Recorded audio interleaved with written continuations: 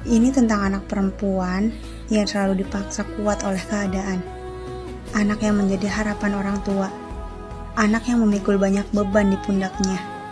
Dan anak yang raut wajahnya terlihat bahagia, namun hatinya banyak luka.